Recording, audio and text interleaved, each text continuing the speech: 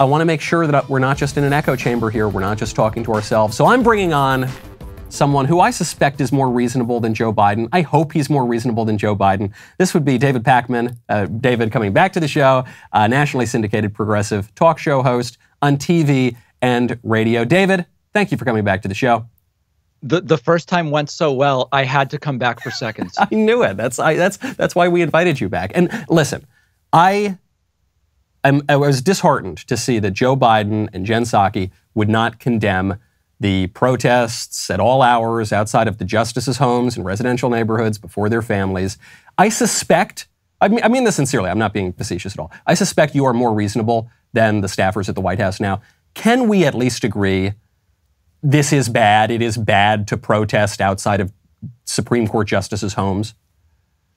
Well, so do, do you, I suspect you want to have a good faith conversation about this. Is that a fair assessment? So It we is. can speak freely here. You're not just looking to play gotcha here. I'm not. No, I, I, I really Okay, not. all right, That's so- not what we do on this show. So let's see. Um, I this is not a protest technique I would employ, right? But I have a large platform online where I'm going to reach way more people than going to anybody's house. So like my personal thing is I, this is not a protest technique I would employ. Let's go through like legality, morality, ethics, etc. Yep. Anything that is a criminal act like a Molotov cocktail, uh, destruction of property, what whatever it should be reported. If there's a crime, people should be charged. If you can get a guilty guilty verdict, they should be uh, you know sentenced. Fine, very very good. Yep. In terms of the speech aspect of this, you know, there's this case from the 90s, Madsen v. Women's Health Center, which found that it's okay for anti-choice protesters to go and protest outside the homes of just random workers at abortion clinics. Okay, now that's not my opinion. That's a decision that exists. Yep. Those are quite literally private citizens. They're just like medical workers, right? So if that's okay and we have a First Amendment, certainly showing up and protesting isn't against the law. Are you and I on the same page about that piece? No, because in the U.S. Code, 18 U.S. Code Section 1507,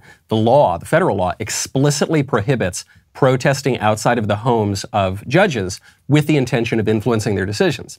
So if the they were. the decision has been done, though. No, it hasn't. The, the decision hasn't come out. There was a leaked draft of the opinion. So I, I would agree with you. It's not clear that they were in violation of the law if the decision had already come out and they were just expressing their anger.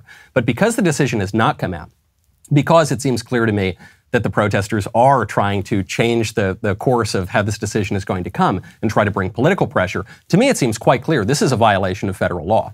No, no law- lawyer I've spoken to says that this is against any law unless unless some specific, you know, if there even if even something as relatively benign as a noise ordinance, let's say there's a noise ordinance that starts at 10 p.m. Yeah. If it's 11 and you're being loud, okay, but now we that's- have something to talk about. But there's there's I I've No, that- that's not the law that lawyer I'm- who says there's any law being broken here. That that is the law. I mean, the viewers are free to go check it out. But that, that is a very specific law. There's also there's actually a Virginia statute too. But I'm just talking about the federal law. 18 USC 1507. You can look it up. Now you might say, well, I don't like that law. I don't think it's just. I just think don't it's think a it's applicable here. In, I, I just don't think it's applicable at the homes of these individuals in Virginia, based on lawyers I've spoken to. Neither you or I are lawyers, so we may just be. but I can read the law. I mean, the, further. the statute is plain. Are, are you saying that you don't think that the, the protesters are seeking to influence the decision? I haven't spoken to them, so I really can't say. But But I you can hear what my- they're saying, right? What's that? You can hear the sort of things that they're chanting. They're not saying. I actually have not heard what they're chanting. I have not. Okay. I, I don't know what they're. What are they chanting? You tell me. they're chanting "My body, my choice." They're chant. They're chanting. Uh, you know. My body, my choice isn't change the the the decision. Of course it is. That's They're- just their opinion, right? My body, my choice. They're they're chanting in support of the of the ruling that will be overruled by the Dobbs versus Jackson Women's Health Organization case. Listen, listen. I think that if we want to get into the minutia of this at the legal level, Yeah. I think you would have a hard time arguing that legally saying "my body, my choice" is equivalent to saying "change your decision." D- so I don't know David, that this what, is the why why would- what would they be doing outside of the justices' homes before a decision comes out, after a leaked opinion, expressing their opinion. I mean, listen, But- but right, legally, their- I don't think opinion- you're going to win on that. I don't think you're going to win on legally they were breaking the law because they said my body, my choice. It seems very weak. No, D- David, they're not merely saying my body, my choice, and they're not merely posting some opinion online. They're going to the homes of these people. The, actually, the group that sent them, it's called Ruth Sent Us, they said that this is an unacceptable attack on women and LGBT, and we need to force them, right? That was the key word. We need to force them to change their views using a diversity of tactics. And we would acknowledge that.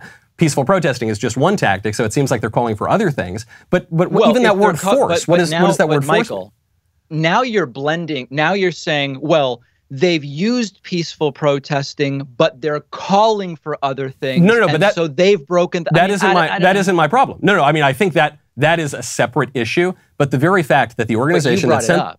I'm sorry. But you brought you Yeah, yeah, no, it in this conversation. That's that's a problem as well that they're calling for a diversity Okay. of tactics. But the chief problem that we're discussing here is that the organization that is taking responsibility for sending the mobs to the justices' homes says we need to force them to change their minds. We need to force them to not attack women and LGBT and all, all of the other uh, minority groups that they're discussing. So even the word force would suggest to me that that they are attempting to influence the decision and therefore are in violation of this law. Yeah, I, I I'm not trying to skirt the main point you're trying to make, which I am unsure I can identify, but I haven't seen that specifically said, so it's just hard for me to comment on it. What I think All what I can you're pleading you're is- pleading uh, pleading ignorance on this point. No, But- I'm not pleading ignorance. What what I what I can speak to is if any crime has been committed, charge them. Okay. I'm totally Okay. with that. I'm totally with that. Yeah. Okay, that makes sense. Do do you think now, from your perspective as a reasonable Democrat, if you were advising Democrats? I'm not a Democrat. I've never been associated with the Democratic Party. Really? What, Are you in any party or you're just independent? No. Yeah, I'm just independent. Would you, you would generally vote for Democrats, I would assume. I vote for more Democrats than Republicans. I don't care about parties, though. I see parties essentially almost like corporations that justify their own existence to just continue existing in opposition to the other other party. Do you, do you really vote for Republicans? I voted for many. In there's lots of nonpartisan local elections. Okay. Where I later found out some of the people were not Democrats, but I mean it's kind of neither here nor there. Okay, so, but you're not formally in the Democrat Party. If you were advising a Democratic candidate, or any candidate for that Sure. matter, who is on the left, would you advise them to continue running on this issue of abortion, on this issue of, uh, well, for instance, the bill that the Democrats last night tried to pass, it failed in the Senate. To, they said it was to codify Roe versus Wade. It actually went further to create even more abortion protections. Would you advise them to run on this issue in the midterms or to back away from it in the midterms? I so run on it. I think that there's two from a political strategy standpoint, there's two options. One would be run on the bill that failed yesterday. That doesn't seem like a good idea to run on that. Yeah. Um, I, I think where there is, based on pu- public opinion about abortion being as in favor of it as ever before during the Roe v. Wade era, public polling is now in the 60, 70% of Americans believe abortion should generally be legal in most cases. That That's not in every case, but in most cases. Based on that, it seems to me it would be prudent to run on we need to get the government out of medical decisions between women and doctors. I mean, and again, you're I, you and I are never going to agree on something like when does life begin. That's a different. I Well, we're we might agree on that. I, you know, I had a Well, gal who came. Whoa, whoa, whoa, hold on. But let Yeah. me at least finish my sentence. Sure. You asked me about strategy. It seems to me that since most Americans think abortion should be legal in most cases, the right strategy thing would be we need to get the federal government out of in the middle of these medical decisions. But but right now, if you if you let, let's say that the leaked opinion actually ends up being the final decision. Let's say that Roe v. Wade Sure. is overruled instantly, as Elizabeth Warren says, abortion is severely restricted, if not outlawed, in more than half of the states. Instantly, you you've, you, you've you're in a very different situation. Knowing that the there are all sorts of polls. There's polls that show that 94% of Americans reject the absolutist view of abortion held by some Democrats. There are polls, as you cite, that show that when you ask the question, do you support Roe versus Wade broadly, then there is some majority of Americans that broadly want some abortion uh, liberality. Uh, Yeah, so- but so- Michael, that's very mealy mouthed. I mean, let's It is let's, very let's Just, let's you're just right. be honest.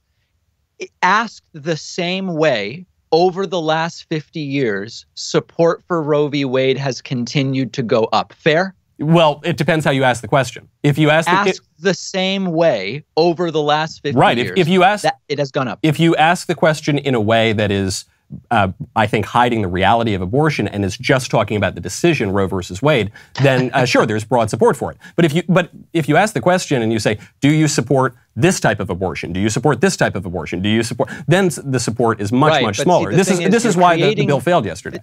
You're creating distinctions only to create doubt when the, the point I'm making is over the last 50 years, generally overall, should abortion generally be legal in most cases? But support but the, has gone up. It's so the, you can admit that and still be against it. No, but David, the, the problem is the devil is in the details because I, I mean I've got a poll right here that sh- that goes into depth on different aspects of abortion polling.